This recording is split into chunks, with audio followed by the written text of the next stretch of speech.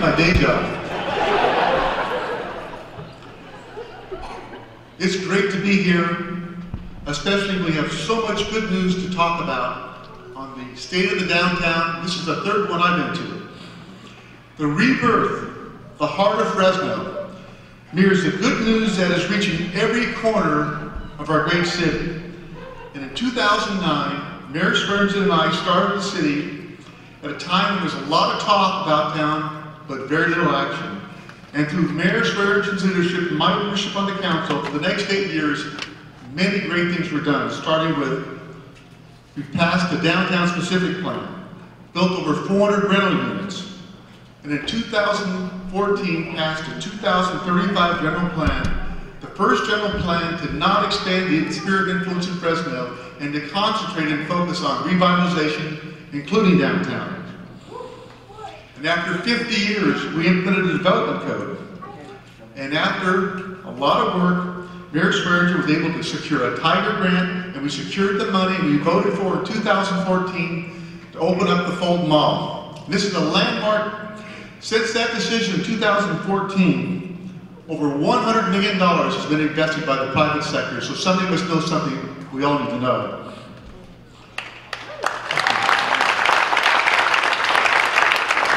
Finally, last year we were able to secure a $70 million grant Cap and Trade, the largest single grant ever by the city of Fresno, and that money will primarily be spent downtown.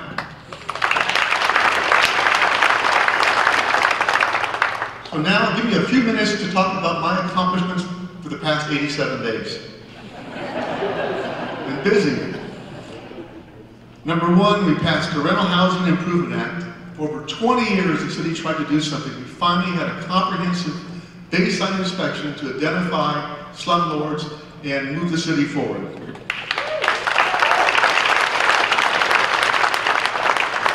We passed the Citizens Public Safety Advisory Board one of the most innovative boards the city's ever seen that will bridge the gap between of trust between the community and our police department and move us forward on our, on our overall plan in community-based policing. Here's the big one that just happened recently. Ulta Beauty has signed a deal to locate their e-commerce plant in Fresno to employ up to 1,000 jobs.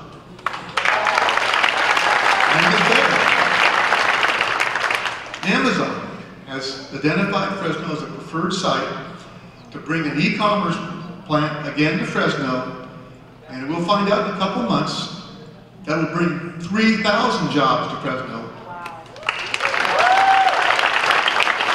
And every job we bring is at least a one-to-one -one multiplier, so that's potentially 8,000 jobs. When is the last time we had 8,000 jobs in Fresno? So things are moving in the right direction.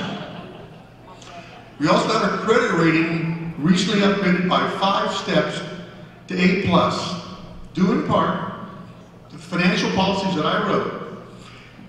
Five years ago, we were junk bond status, and Time Magazine had an article of Fresno, the next city for bankruptcy.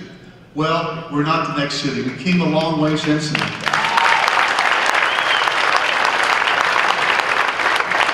And because of that, we were able to refinance our bonds and save the taxpayers $35 million over the next 20 years.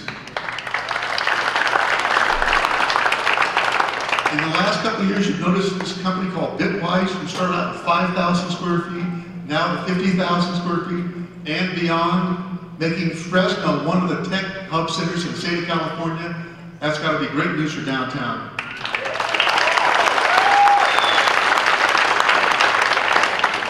And in a few months, we're going to open the Fulton Mall to through traffic. And this is the first time it's been open. And I was here in junior high school since 1964. So everybody planned to be at that event. So on behalf of the city of Fresno, I want to thank you for ignoring the naysayers and pushing forward with the message that downtown Fresno is alive and well and the best is yet to come.